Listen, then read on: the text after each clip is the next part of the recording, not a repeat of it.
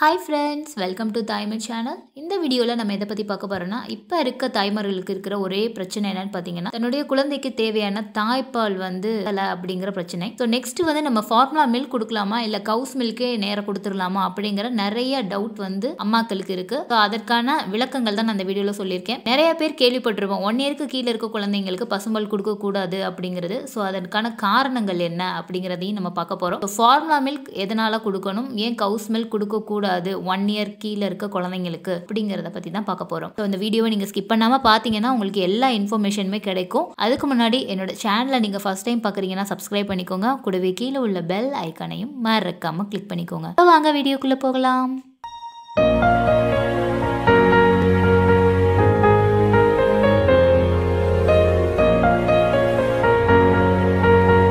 One இயருக்கு கீழே இருக்க குழந்தைங்களுக்கு ஏன் பசும்பால் கொடுக்கக்கூடாது அப்படிங்கிறத பார்க்குறதுக்கு முன்னாடி தாய்ப்பால் ஏன் கொடுக்கணும் குழந்தைங்களுக்கு? அதனால என்னென்ன குழந்தைக்கு நன்மைகள் அப்படிங்கிறத பற்றி தான் நம்ம ஃபஸ்ட்டு பார்ப்போம்.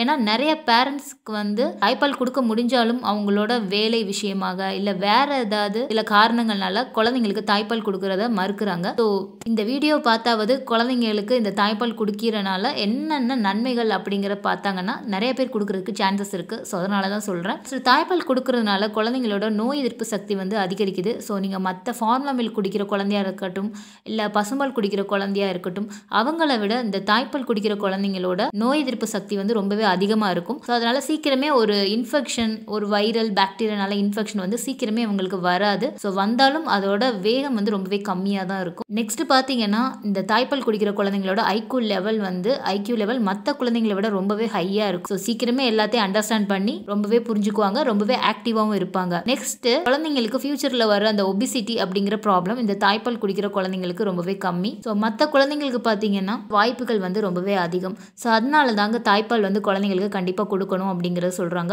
ஸோ உங்களால் முடிஞ்சிச்சுன்னா சிக்ஸ் மந்த்ஸ் வரைக்காவது கொடுங்க. உங்களால் கண்டிப்பாக முடியும் அப்படிங்கன்னா அட்லீஸ்ட் டூ இயர்ஸ் வரைக்கும் கூட கொடுக்கலாம். மினிமம் வந்து ஒன் இயர் வரைக்கும் கொடுத்தீங்கன்னா ரொம்பவே நல்லது. ஸோ குழந்தைங்களுக்கு முடிந்த அளவுக்கு தாய்ப்பால் கொடுங்க.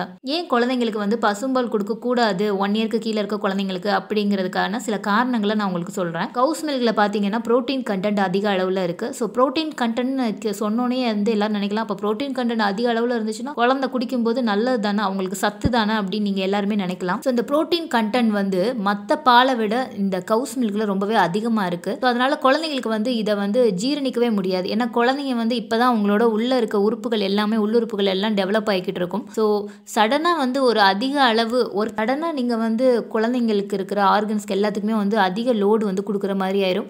அதனால வந்து குழந்தைங்களுக்கு சில ப்ராப்ளம்ஸ் வந்து வரலாம். மோஷனில் சில குழந்தைங்களுக்குலாம் பிளட்லாம் வரதுக்கு சான்சஸ் இருக்குது அதே மாதிரி கான்ஸ்டிபேஷன் இந்த மாதிரி பிரச்சனைகள்லாம் நிறைய வரும். கவுஸ் மில்கில் இருக்க ப்ரோட்டீனை நம்ம ரெண்டு விதமாக பிரிக்கலாம். அது ஒன்று பார்த்தீங்கன்னா வே ப்ரோட்டீன் இன்னொன்று கேசின் ப்ரோட்டீன் ஸோ மற்ற பாலை கம்பேர் பண்ணும்போது இந்த கேசின் ப்ரோட்டீன் அளவு கவுஸ் மில்கில் அதிகப்படியாக இருக்கிறனால குழந்தைங்களுக்கு சீக்கிரமாகவே ஜீரணிக்க முடியாது. அதனால குழந்தைங்களுக்கு வந்து அடிக்கடி வயிற்று வலி வரும். டயரியா அடிக்கடி போவாங்க. அடுத்து பார்த்தீங்கன்னா வயிறு உப்பி போய் வயிறு மட்டும் கொஞ்சம் பெருசாக இருக்கும். சீக்கிரம் பசி எடுக்காது. அந்த மாதிரி பிரச்சனைகள்லாம் வரலாம். நாளில் டயரியா இந்த மாதிரி பிரச்சனைகள் இருக்கிறதுனால குழந்தைங்கள் வந்து வெயிட் கெயின் ஆகவே மாட்டாங்க. அதே மாதிரி குழந்தைங்களுக்கு தேவையான அயன் கண்டென்ட் இந்த கவுஸ் மில்கில் ரொம்பவே கம்மி. நீங்கள் மற்ற பாலை கம்பேர் பண்ணும்போது எல்லா பால்லையுமே அயன் கண்டென்ட் கம்மியாக தான் இருக்கும். பட் கவுஸ் மில்கில் அது அதிகப்படியாக கம்மியாக இருக்கிறனால குழந்தைங்களுக்கு அனிமியா அப்படிங்கிற பிரச்சனைகள் வரலாம். அனிமியாங்கிறது ரத்த சோகை. ஸோ இந்த பிரச்சனைகள் குழந்தைங்களுக்கு சீக்கிரமாகவே வரதுக்கு சான்சஸ் இருக்கு. நெக்ஸ்ட் குழந்தைங்களுக்கு ஒரு நோய் எதிர்ப்பு சக்தி அதிகரிக்கிறதுக்கு தேவையான ஒரு ஒரு வைட்டமின் என்னன்னு பார்த்தீங்கன்னா வைட்டமின் சி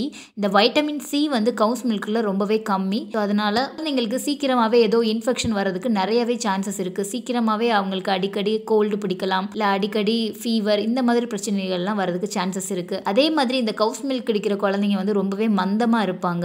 ஆக்டிவ் இந்த மாதிரிலாம் இல்லாமல் எப்பயுமே மந்தமாக இருப்பாங்க. பார்க்குறதுக்கு இந்த கவுஸ் மில்க் குடிக்கிற குழந்தைங்க ரொம்பவே குண்டாக இருந்தாலும் அழகாக தெரிந்தாலும் அவங்க ஹெல்த் வைஸ் பார்த்தீங்கன்னா ரொம்பவே வீக்காக தான் இருப்பாங்க. ஸோ முடிந்த அளவுக்கு நீங்கள் ஒன் ஒன் இயருக்கு கீழே இருக்க குழந்தைங்களுக்கு நீங்கள் அசும்பல் கொடுக்க வேண்டாம். ஒன் இயருக்கு மேலே கொடுத்தா இந்த பிரச்சனைகள்லாம் வராதா அப்படின்னு நீங்கள் நினைக்கலாம். ஒன் இயருக்கு மேலே இருக்க குழந்தைங்களுக்கு ஒரு நாளைக்கு தேவையான பாலின் அளவு பார்த்தீங்கன்னா டூ கிளாஸ் ஆஃப் மில்க் வந்து அவங்களுக்கு போதும். அப்படி பார்த்தீங்கன்னா ஒரு நாளைக்கு நானூறு எம்எல் அது அளவுக்கு பால் குடிச்சா போதும். மற்ற நேரங்களில் நீங்கள் இணை உணவுகளாக நீங்கள் காய்கறிகள் பழங்கள் தானியங்கள் இந்த மாதிரி தான் நீங்கள் கொடுக்கணும். குழந்தை சாப்பிடல அப்படின்னு நீங்கள் எப்பயுமே வந்து பாலை வந்து கொடுத்து பழகிட்டீங்கன்னா அவங்களுக்கு மற்ற நியூட்ரிஷன்ஸ் எதுவுமே வந்து கிடைக்காது. ஏன்னா கவுஸ் மில்கில் கால்சியம் அதிக அளவில் கிடைக்கும். மற்ற நியூட்ரிஷன்ஸ் எல்லாமே வந்து ரொம்பவே கம்மி. அது குழந்தையோட வளர்ச்சிக்கு போதுமானதாகவும் இருக்காது. கண்டிப்பாக நீங்கள் பாலை வந்து மெயினான உணவாக நீங்கள் குழந்தைங்களுக்கு எப்பயும் கொண்டு போகாதீங்க. குழந்தை அழுறாங்க சாப்பிட மாட்டேங்கிறாங்க பாலையாவது குடிக்கட்டும் நீங்கள் கொடுத்தீங்கன்னா நான் சொன்ன இந்த பிரச்சனைகள்லாம் வரதுக்கு நிறையவே சான்சஸ் இருக்குது ஸோ முடிந்த அளவுக்கு பாலோட அளவை கம்மி பண்ணிட்டு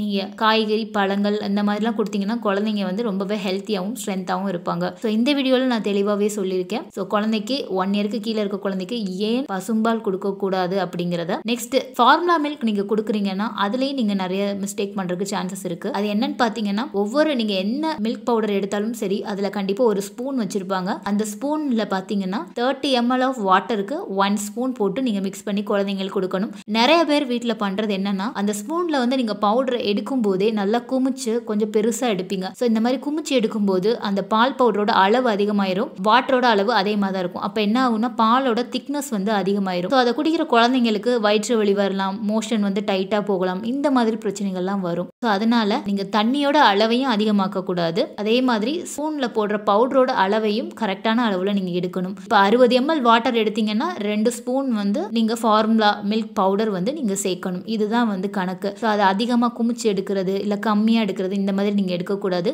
அதே மாதிரி தண்ணியோட அளவை நீங்கள் அதிகரித்து நீங்கள் குழந்தைங்களுக்கு கொடுத்தாலும் குழந்தைங்களுக்கு தேவையான நியூட்ரிஷன்ஸ் அவங்களுக்கு போய் சேராது. ஸோ இதையும் நீங்கள் கவனத்தில் வச்சுக்கோங்க. ஸோ இந்த வீடியோவில் உங்களுக்கு தெளிவாகவே சொல்லியிருக்கேன். எந்த பால் நல்லது எப்படி பால் வந்து மிக்ஸ் பண்ணி கொடுக்கணும் ஃபார்முலா மில்க் அப்படிங்கிறது நான் தெளிவாக சொல்லியிருக்கேன். ஸோ இதெல்லாம் நீங்களும் ஃபாலோ பண்ணுங்க. உங்களுக்கு வேற ஏதாவது டவுட் இருந்தால் எனக்கு கீழே கமெண்ட்ல சொல்லுங்க. நான் கண்டிப்பாக ரிப்ளை பண்ணுறேன் ஸோ இந்த வீடியோ பிடிச்சிருந்தா லைக் பண்ணுங்க ஷேர் பண்ணுங்க. தேங்க்யூ